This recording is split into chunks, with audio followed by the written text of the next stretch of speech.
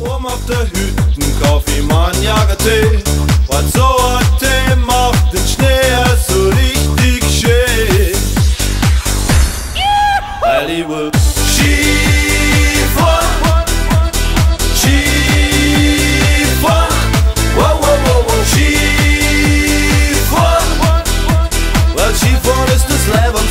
was man sich noch vorstellen